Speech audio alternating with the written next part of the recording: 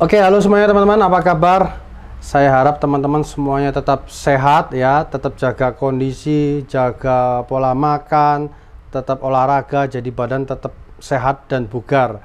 Jadi tidak mudah terserang penyakit atau virus atau COVID ya. Dan ingat tetap jaga protokol kesehatan, pakai masker atau menghindari kerumunan ya. Oke, ini saya uh, berikan option file untuk data pack 7 uh, di PS PS 2021, PS4 dan PS5 yang bagian kedua. Sebelumnya, sebelum kalian nonton video ini, kalian simak dulu ya apa yang saya sampaikan.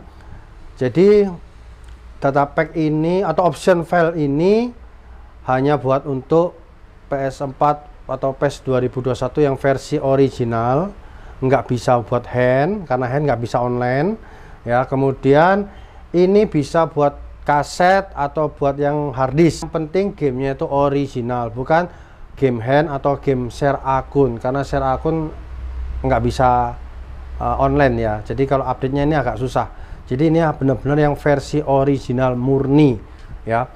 Kemudian ada yang tanya bisa buat PS4 Fat ya bisa. Mau Fat mau Slim mau Pro? Bisa ya ada yang tanya bisa nggak buat PES 2020 nggak bisa. Jadi ini hanya untuk PES 2021 ya oke. Okay.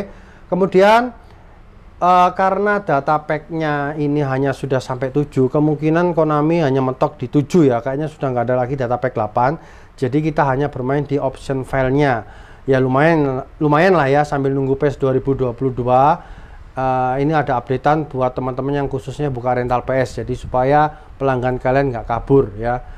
Jadi sebelum kalian uh, install option filenya yang di, uh, import import tim ya itu kalian harus live update dulu. Setelah live update baru import tim. Kenapa?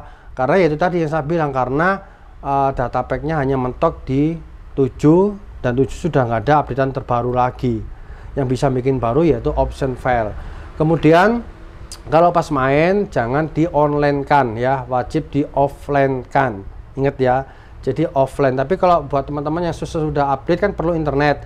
Setelah itu kan nggak pakai internet lagi kondisi off ya sudah nggak masalah dia pasti update. Kalau di online kan ya otomatis nggak update oke? Ngerti ya?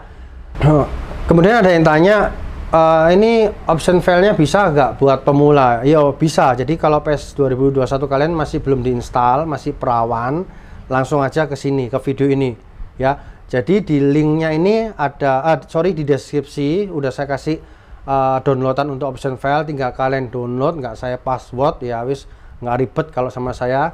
Kemudian kalian ekstrak ya hasil ekstraknya kan keluar WPS tinggal kalian uh, copy pastekan ke flash disk langsung tancapkan ke flash disk. Buat yang masih nggak ngerti ya buat bener-bener pemula kalian ikutin aja tutorial saya yang sebelumnya. Nanti kalian lihat di link atas saya ini kanan atau kiri tak kasih ya. Itu mulai tahap awal sampai akhir. Cuma bedanya kalau sebelumnya kan saya import tim dulu baru live update. Tapi yang ini live update dulu baru import tim ya. Nah bagi yang masih nggak ngerti ya bahkan ada yang nggak bisa ekstrak atau download atau kadang flash disknya itu sudah diinstal ke flash disk ditancapin ke PS4 nya masih nggak kebaca. Ada yang tanya ada yang minta mas dijual aja nggak apa-apa. Yo ya wis padahal ini aku kasih gratis loh ya. Tapi kalau kalian yang masih khususnya kebingungan nggak ngerti nanti saya uh, taruh di flash disk saya jual. Flash disknya udah terinstall uh, apa namanya option filenya. Kalian bisa order di Shopee atau di Tokopedia. Nanti ada option file PES 2021 bisa kalian pesan di situ. Buat kalian yang misalkan nggak mau ribet tinggal tancap dong ya udah aku siapin ya. Tapi ini semuanya sebelum uh, tapi ini adalah gratis ya buat kalian yang sudah paham ya. Jadi ini adalah bedanya sama sebelumnya seperti kayak ada perpindahan dari ya, siapa Sergio Ramos dari Madrid ke PSG, ada Donnarumma dari Milan ke PSG, uh, eh, ada Oliver Giroud ya Giroud atau Giroud sih dari Arsenal ke mana? Ke Milan ya sorry ya. Jadi Oliver Giroud dari Arsenal ke Milan itu jadi sampai per hari ini gitu Uh, kemudian ada beberapa jersey yang sudah diperbarui tapi juga ada yang belum ya. Kemudian kalau misalkan ketemu ada pemain yang belum diupdate ya kalian update sendiri ya. Jadi aku rasa itu aja uh, saya sampaikan.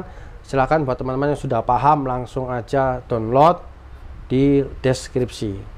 Dan ini adalah reviewnya untuk data pack 7 uh, untuk option file data pack 7 part kedua.